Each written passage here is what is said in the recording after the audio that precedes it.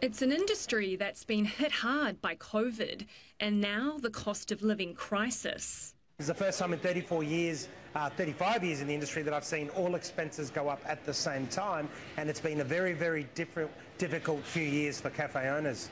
A report commissioned by the Coffee Commune shows close to 700 Queensland businesses will close by the end of the year.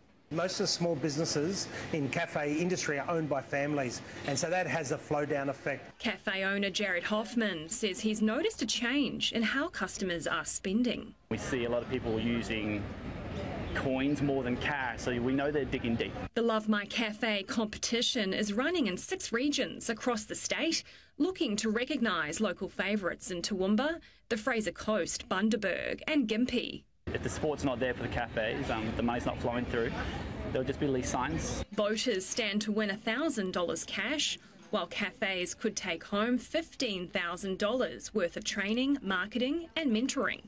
For more information, visit lovemycafe.com.au. Jody Clark, 7 News.